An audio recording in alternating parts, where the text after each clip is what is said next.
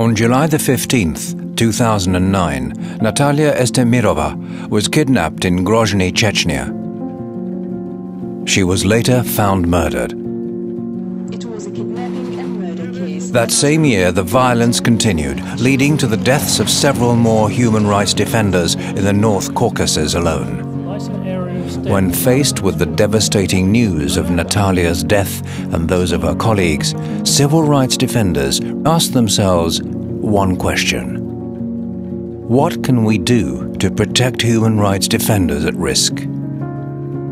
At the core of the problem was that assaults were taking place without anyone knowing about them, making it impossible to protect or help the victims there was a need to enable victims to send out a distress signal when attacked.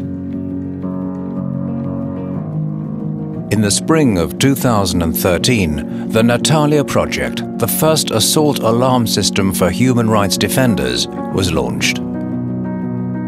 The Natalia Project is based upon three principles. By signing up through social media, people can participate in monitoring alarms triggered by human rights defenders wearing a wristband. When an alarm is triggered, it immediately alerts local partners and the headquarters of civil rights defenders, providing the exact time and position of the assault.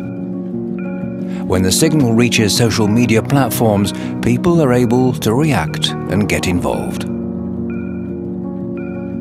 What makes the Natalia project unique is that it enables the distress signal to reach everyone simultaneously. The wristband is designed to be durable in order to withstand the brutality and violence of an assault. Its purpose is to serve as a lifeline. There are several ways to activate the alarm, which is also set off if removed by force.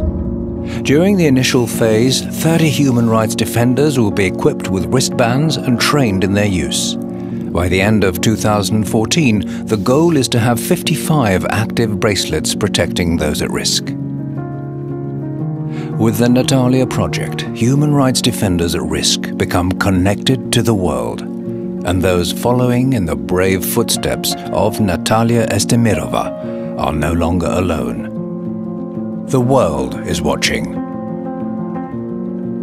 Sign up at nataliaproject.org.